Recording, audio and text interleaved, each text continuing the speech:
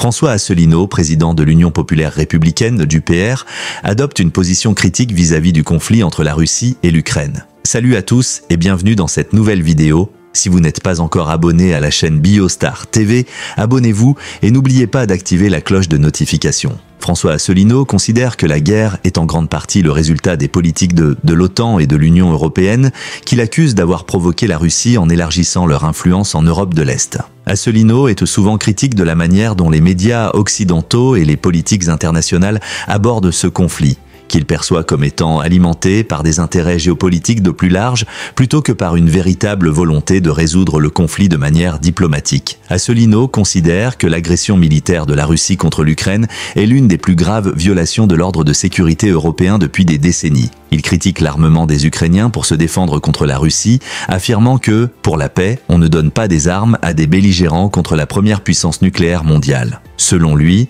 la meilleure feuille de route pour restaurer la paix serait une médiation dans laquelle l'Ukraine respecte un point fondamental, établir une position neutre vis-à-vis de l'OTAN, de l'Europe et du monde occidental. On a appris euh, par euh, la média américain NBC News euh, que des émissaires de très haut niveau américains et européens seraient allés voir le président Zelensky en Ukraine pour lui dire eh qu'il allait falloir maintenant commencer à négocier avec Vladimir Poutine et avec la Russie et voir ce que l'Ukraine devra céder pour arriver à la paix. Alors j'insiste sur euh, cet événement charnière. Euh, c'est d'un seul coup tout le narratif que l'on nous a raconté depuis le 22 février de l'année dernière, depuis un an et demi, qui est en train de s'effondrer sous nos yeux. On nous a expliqué que la Russie allait être battue, écrasée, que c'était une puissance en fin de course.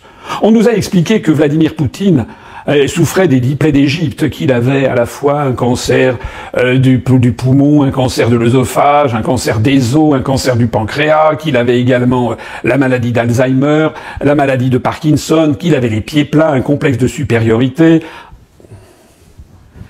En réalité, Vladimir Poutine est là et bien là, et il est en train de triompher de la coalition imposée par les États-Unis au monde occidental. Puisque je rappelle quand même que d'un côté, nous avons la Russie, avec l'aide en matériel militaire de la Corée du Nord, de la Chine, de l'Iran, mais ce sont des aides sur quelques matériels comme des drones, des choses comme ça. Mais le gros de l'effort de guerre repose sur la seule fédération de Russie.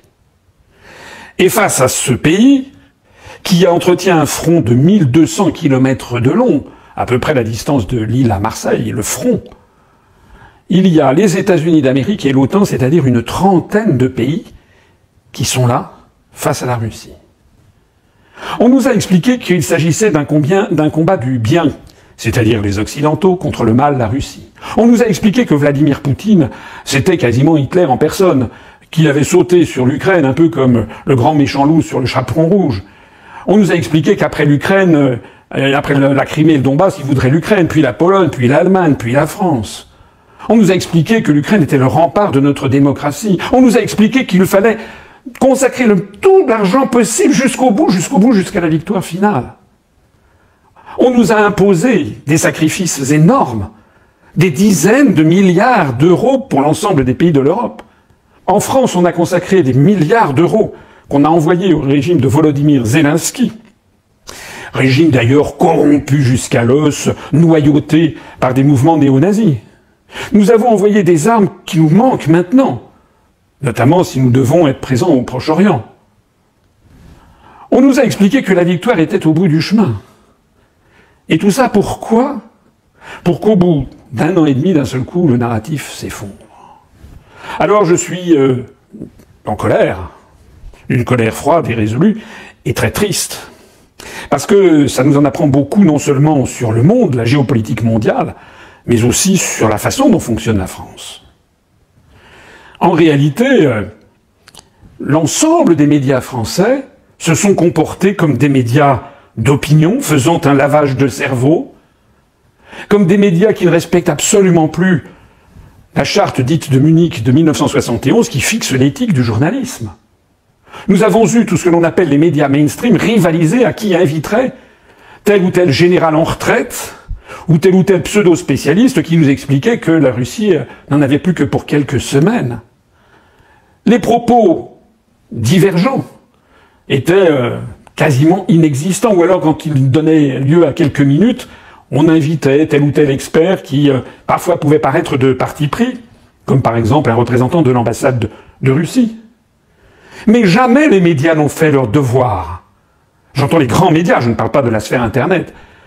Jamais les grands médias n'ont fait leur devoir qui était d'expliquer au peuple français la réalité de la situation. Expliquer que le conflit n'a jamais démarré le 22 février 2022, qu'il puise ses racines anciennes jusqu'au XVIIIe siècle, qu'il puise ses racines plus récentes au début du XXe siècle avec la création de l'Ukraine, qui est un pays euh, composite voulu par Staline, mélangeant des populations qui se détestent. On a fait comme si la révolution du Maïdan n'avait pas existé, comme si les accords de Minsk n'avaient pas existé. On a voulu défendre aux yeux de l'opinion publique française un narratif qui est exactement celui voulu par l'État profond américain et par le clan Biden, clan Biden corrompu jusqu'à l'os, puisque l'on sait que le président Biden, son fils Hunter Biden, ont parti liés avec notamment une entreprise ukrainienne qui s'appelle Burisma et ont obtenu des millions de dollars de corruption. Les médias français n'ont pas joué le jeu qu'ils doivent jouer dans une démocratie. Dans une démocratie, on doit inviter dans les grands médias toutes les personnes qui ont un avis important et intéressant et autorisé à le formuler, quel qu'il soit. Alors, euh, le problème que nous avons en France, c'est que les grands médias n'exercent plus le rôle qui devrait être le leur dans une démocratie. Ni d'ailleurs les médias radio et télévisés, ni euh, la grande majorité des médias écrits. C'est un constat qui maintenant saute aux yeux. Or, cette situation est d'autant plus dramatique que, bien entendu, elle est intégrée dans les calculs politiciens des autres partis politiques. Puisque les autres responsables de partis se sont tous couchés devant l'omnipuissance médiatique et devant l'intimidation des médias. Cela me fait penser à une anecdote de Charles Pasqua, près duquel je travaillais il y a une vingtaine d'années, qui m'avait dit un jour, en parlant de la scène politique française, sur un ton très désabusé, puisqu'il était en fin de carrière, il m'avait dit, mais François, vous savez, ils n'ont d'idée sur rien. La seule chose qui compte pour eux, c'est leur carrière. Eh bien, nous en sommes là. Nous en sommes là parce que toute la classe politique française, du moins celle qui a accès aux grands médias, a tout entière entonné le même chant, la même chanson. Anti-Poutine, pro-Zelensky. Alors bon, Macron, on peut presque le lui pardonner, puisque tout le monde a compris qu'il ne dirige plus rien, que c'est un pantin, c'est un fantoche, dans la main de ceux qui l'ont catapulté à l'Élysée en manipulant l'élection de 2017 et de 2022. Mais les opposants, les prétendus opposants, je voudrais m'adresser ici à Madame Le Pen. Tous les Français, Madame Le Pen, vous ont vu lors du débat du deuxième tour de 2022. Au moment où l'affaire ukrainienne est arrivée sur la table, vous avez approuvé totalement ce que faisait M. Macron. Euh, Doit-on aider davantage l'Ukraine et lui livrer des armes? Faut-il aller plus loin? Ah, D'abord, permettez-moi d'évoquer euh, ce soir, euh, devant les millions de nos compatriotes qui nous regardent, ma solidarité et ma compassion absolue avec le peuple ukrainien. Euh, je, je, considère que l'agression dont l'Ukraine a été victime n'est pas admissible. Euh, et euh, j'avoue que les efforts, Monsieur Macron, que vous avez développés pour tenter de trouver, au nom de la France, les moyens, les voies de la paix, méritent d'être soutenus totalement approuvé la politique de Macron, c'est-à-dire en fait la politique exigée par l'Empire américain, et vous le savez, et c'est pour ça que vous l'avez approuvé. C'est parce que vous n'avez aucun courage. En fait, vous avez approuvé la politique de suivisme et de soutenir l'Ukraine. Vous n'avez d'ailleurs jamais demandé à l'Assemblée nationale l'application de l'article 35 de la Constitution qui fait obligation au bout de quatre mois d'avoir un débat, une autorisation donnée par le Parlement à l'exécutif mais de poursuivre ou non un effort de guerre à l'étranger. Vous n'êtes pas la seule d'ailleurs. Votre président, président du Rassemblement national, M. Bardella, s'est complètement couché, s'est même vautré, du haut de ses 28 ans et de sa totale inexpérience en matière internationale. Il a eu droit à tous les médias pour expliquer que la France avait été beaucoup trop naïve vis-à-vis -vis de Vladimir Poutine et pour soutenir l'Ukraine. Mais qu'est-ce qu'il en sait? Pourquoi il dit ça? Parce que il sait que sa carrière en dépend. Il sait que s'il veut être un futur Macron en 2027, il ne dénaignerait peut-être pas de piquer le poste de candidat à Madame Le Pen, ou si pas en 2027, en 2032, il sait qu'il faut qu'il joue le jeu des médias. Il rampe devant l'Empire américain. Dont de tout Paris, on le sait, on sait que ce monsieur a été pris en charge par l'État profond américain. Et Éric Zemmour, que l'on nous présente comme le, principal des opposants, mais Éric Zemmour, c'est pareil. Il s'est rangé lui aussi derrière le narratif américain. Lui aussi soutient l'Ukraine, alors même que le régime de Kiev est un régime qui euh, glorifie constamment le nazisme, glorifie euh, Bandera, glorifie les Waffen-SS. Et puis les autres, Édouard Philippe, n'en parlons pas, il a été Premier ministre. Il partage totalement la même politique vis-à-vis de l'Ukraine. Et si de parler de la gauche, Bernard Cazeneuve, Olivier Faure, les gens de ELV, tout ça c'est du pareil au même. Ils ont exactement le même discours. Il n'y a guère que Mélenchon qui a un discours légèrement différent, mais pas tellement. Puisqu'en fait, euh, les et Mélenchon soutiennent également l'Ukraine contre la Russie. Et tout ceci, pourquoi? Ben, Tout ceci parce que nous avons une classe politique qui, comme me l'avait dit Charles Pasqua il y a une vingtaine d'années, ne cherche plus qu'une chose, c'est sa carrière. Il ne cherche pas la vérité, la réalité. Il ne cherche pas à deviner ce qui va se passer. Il ne cherche pas les intérêts de la France. Non, ce sont des intérêts à très court terme, leurs leur pommes en fait. C'est d'eux qu'il s'agit. Alors le résultat, ben, c'est un désastre. Et le désastre, il est sur la table. Parce que les Américains ont bien compris que c'est fini maintenant. La contre-offensive ukrainienne, pour laquelle l'Occident a envoyé des dizaines de milliards de dollars ou d'euros, plus du matériel militaire, les fameux chars Léopard 2 de, de allemands. La France a envoyé du quantité de matériel dont on ne parle plus d'ailleurs, qui a été détruit. Cette contre-offensive, eh bien, a échoué. Et maintenant que l'hiver arrive, ça va être encore pire.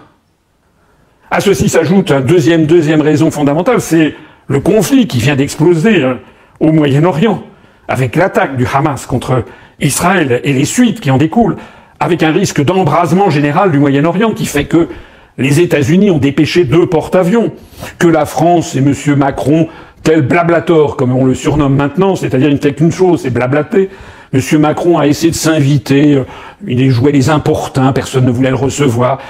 Il a annoncé à grand son trompe qu'on allait envoyer un, navire pour euh, une espèce de navire hôpital. Vous avez vu le désastre. On apprend que la seule chose qu'on a réussi à envoyer, c'est un navire qui est capable de soigner quatre blessés. Mais quelle, quelle honte C'est l'état dans lequel M. Macron a laissé l'armée française avec la complicité totale d'Édouard Philippe, de M. Castex, de Mme Borne, avec la complicité totale de M. Le Maire, en tant que grand argentier, avec la complicité totale de M. Lecornu, le ministre de la Défense. Passez-moi cette expression un peu familière, en plus de ça, il la ramène. Quand on n'est pas capable d'envoyer autre chose qu'un navire soignant quatre personnes, alors même que l'on compte par centaines les morts en ce moment à Gaza, notamment de femmes et d'enfants, et par milliers, le nombre de morts depuis le 7 octobre, on se tait. On a au moins la pudeur de se taire. C'est la deuxième raison, c'est ce deuxième front qui vient d'apparaître. Et puis la troisième raison qui est américano-américaine, c'est qu'aux États-Unis comme en Europe, une grande partie de l'opinion publique en a ras le bol des exigences de M. Zelensky, de la corruption qui l'entoure, des milliards d'euros qui vont là-bas. Ils ont ras-le-bol aussi de découvrir que les armes qui ont été envoyées en Ukraine, certaines se retrouvent justement au Moyen-Orient, ont été vendues au marché noir, se retrouvent dans les mains du Hamas, par exemple.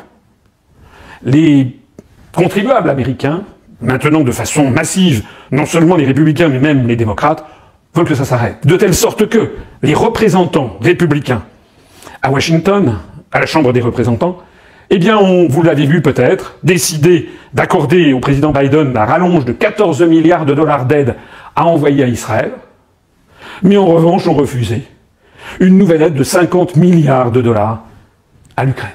Emmanuel Macron, président français, a déclaré que la France avait une détermination sans équivoque à soutenir l'Ukraine dans la durée. La France a également fourni un soutien militaire à l'Ukraine, publiant une liste quantitative des équipements militaires livrés entre 2022 et 2023. Cependant, Asselineau s'oppose à l'appartenance de la France à l'OTAN et à l'Union européenne, ce qui peut expliquer les difficultés qu'il rencontre pour obtenir les 500 signatures nécessaires pour se présenter à l'élection présidentielle. En somme, François Asselineau plaide pour une approche pacifique et une médiation neutre dans le conflit ukrainien, tout en remettant en question l'implication militaire de la France. Nous sommes à présent arrivés à la fin de cette vidéo, merci de l'avoir regardée. N'hésitez surtout pas à laisser vos avis dans les commentaires. On se dit à la pour une nouvelle vidéo.